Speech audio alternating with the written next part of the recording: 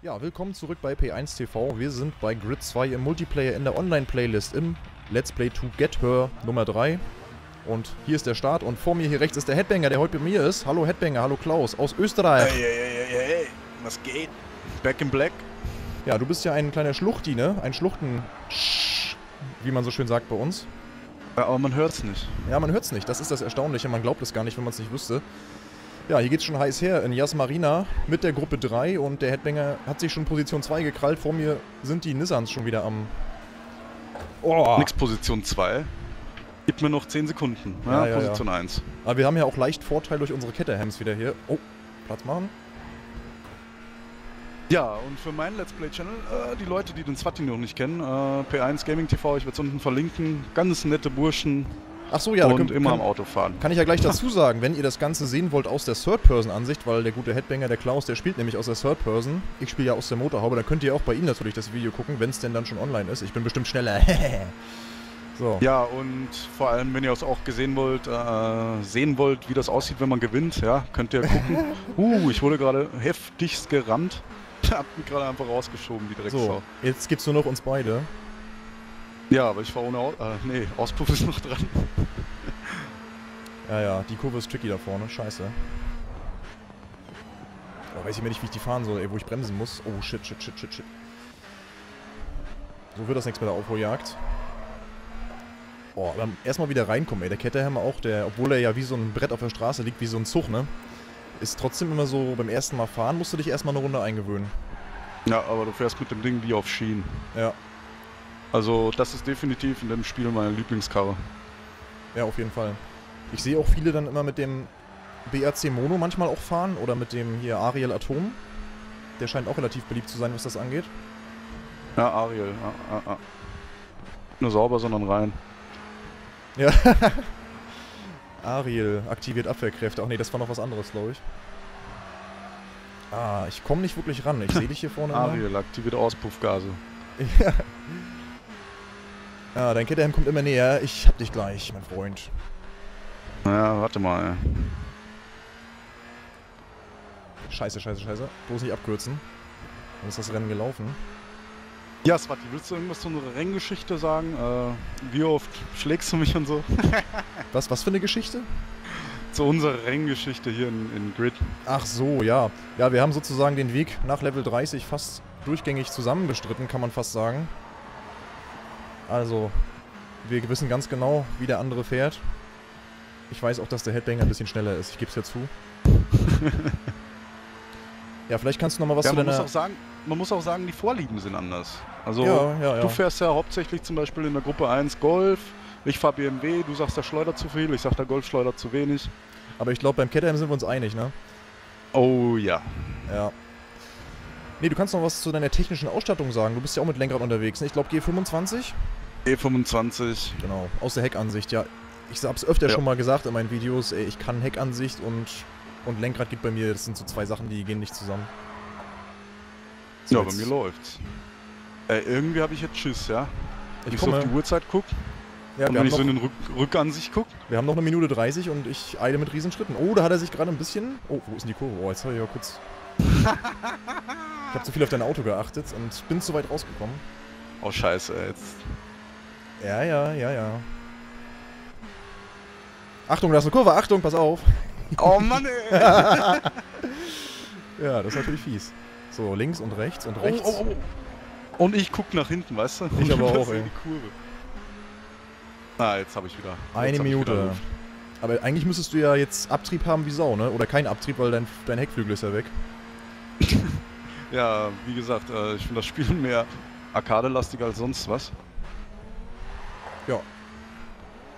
Aber trotzdem, also weil viele sagen, ja, das ist ja jetzt nicht hier Simulation und bla und man muss eins sagen, äh, in dem Spiel ist man beim Durchdriften der Kurven schneller als beim richtig Anbremsen und rausbeschleunigen.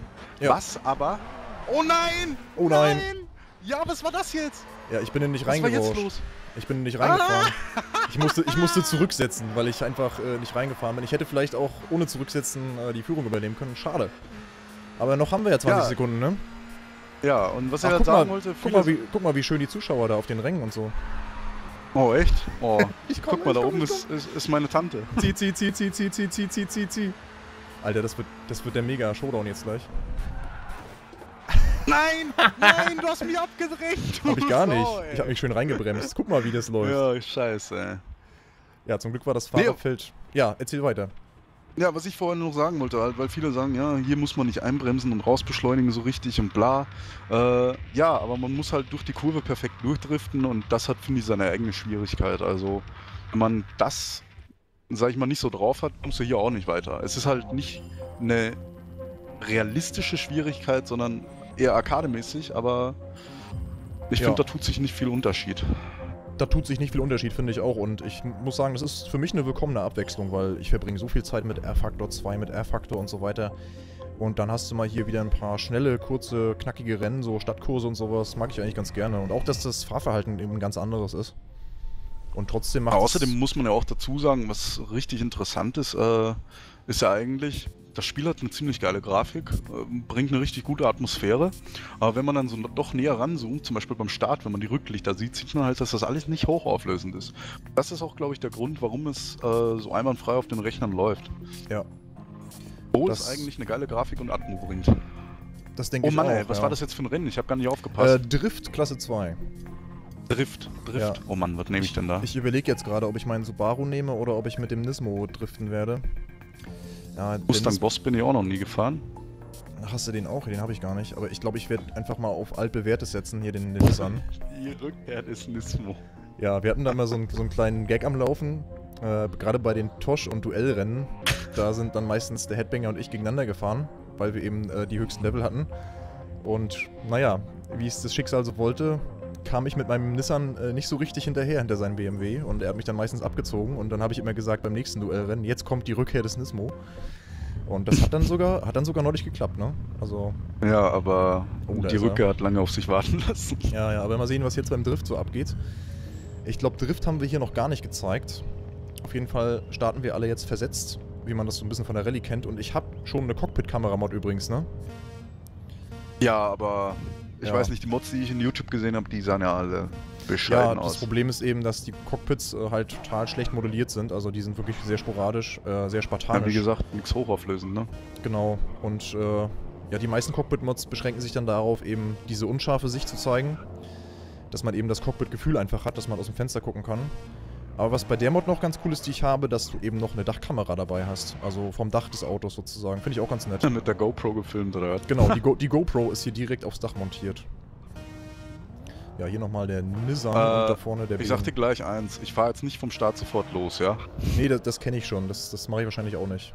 Oder, ja, eigentlich, ich habe ja dann genug Zeit. Ich werde dann gleich losfahren. Ja, park mal dein Auto. So, die erste Kurve schon. Ich ziehe mal ein bisschen die Handbremse, versuche hier... Ah, nee, da war ich ein bisschen zu wenig in, in der Lenkbewegung.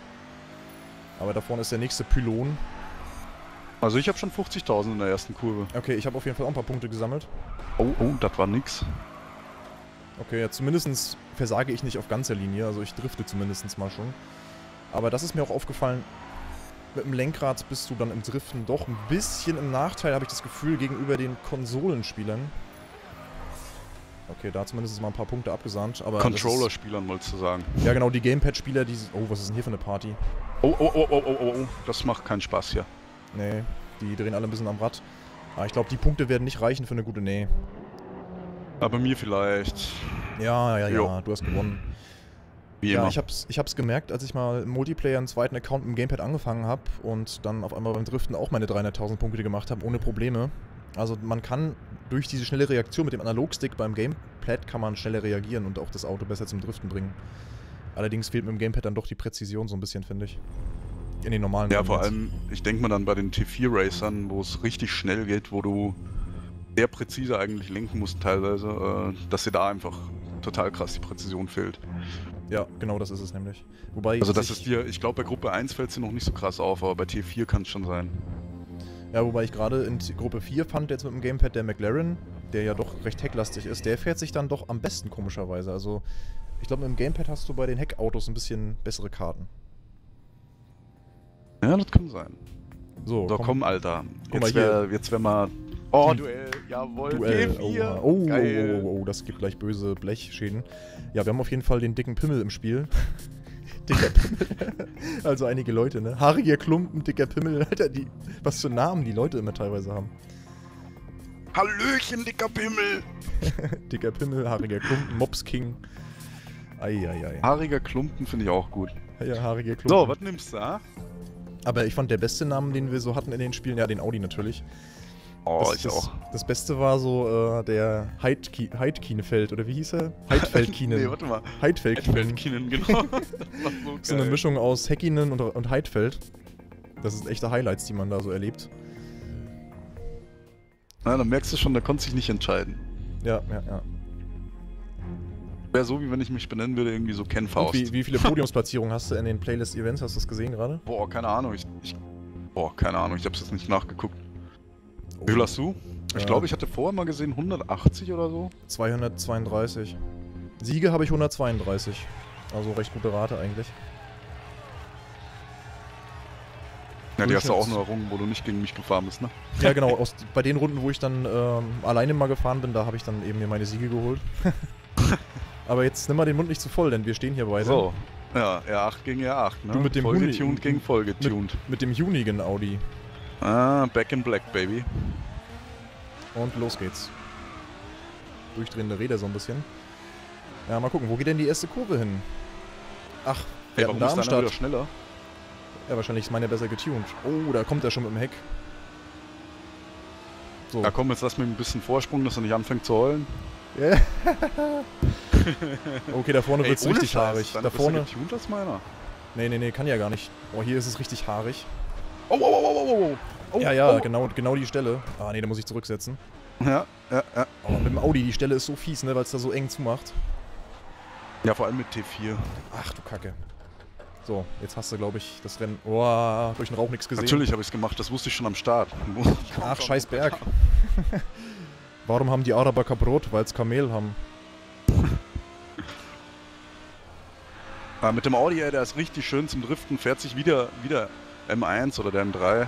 Ja, ich wollte sagen, du bist schon durch diese Driftschule gegangen mit deinen, mit deinen BMWs und ich mit dem Audi. Alter Falter. Ja, geht ganz gut. Also da muss ich sagen, wenn du als R-Faktor-Einsteiger anfängst, drehst du dich weniger als mit diesem Audi. Ja, vor allem, weil es halt auch immer Oh. so schnell ist und wenn dann so schnell darauffolgende Kurven sind, Ja, vor ist allem, es immer ganz übel. mein Problem ist gerade, dass ich hier bei mir ein bisschen Licht angemacht habe, hier wegen Lenkradcam und so weiter. Und hier in diesem Nachtrennen, da sehe ich fast gar nichts auf dem Bildschirm. Oh Das ja, ist- das, das das, Licht war es, genau, ja. Ja, ja, das ist ein bisschen suboptimal. um mal eine Ausrede zu suchen. Oh Gott, ey, das ist ja die Blamage hier. Okay, dann müssen wir jetzt gleich noch zwei, drei Rennen fahren, wo ich besser aussehe, weil sonst kannst du das ja nicht der Öffentlichkeit präsentieren. Na komm, das erste Rennen hast du eh gewonnen. Ja, ja, ja, ja. Aber der Vollmond scheint sehr schön, um mal jetzt von meinem fahrerischen Nichtkönnen abzulenken. An alle, das Let's Play wird aufgenommen an fünf verschiedenen Tagen. Je nach seiner Tagesform. So, oh, oh, oh, oh, da kommt er wieder. Ja, man sieht schon, ne, das ist nicht so einfach. Also ganz schön lange Strecke hier. Ja, gerade mal ein bisschen Ja, über die jetzt Hälfte. ist es auch wieder interessant, Leute, wenn ihr mal gucken wollt. Ähm, also wenn ihr auf meinen Kanal zuguckt, so soll man es machen. Und wenn ihr auf seinem Kanal zuguckt, so soll man es halt nicht machen. man, man kann sich das ja so übereinander. Oh Gott, man kann sich das ja ein bisschen übereinander legen. Oder so, keine Ahnung. Oh, oh, oh. Also ich war gerade richtig... Oh nee, Alter, jetzt habe ich es bestimmt gleich verschrien. Ich war gerade richtig sauber.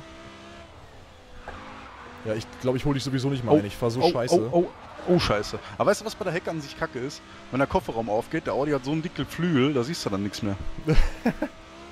Genau. Siehst du noch die 100 Watt Base Machine? Yeah, Ziel. Oh Gott, ey, ich bin Mal gucken, wie viel Vorsprung ich für den Gegner ne? Ja, auf jeden Fall sehr viel. Oh, guck mal, wir können ja auch zuschauen. Ja, ja, zuschauen Guck geht ja jetzt jemand auch. zu. Ja. Oh Gott. Ja, so soll man es halt nicht machen. Oh Mann, ey. Aber jetzt wird er nervös, jetzt guckt noch jemand zu. Oh Gott, jetzt guckt jemand zu. Ja, du, hast, du spielst ja auch mit Traktionskontrolle. Ne? Ja, genau. Eieiei, das war echt. Das war. Ich war jetzt ein bisschen besser noch als der Mobs King immerhin. Ja, meine Zeit.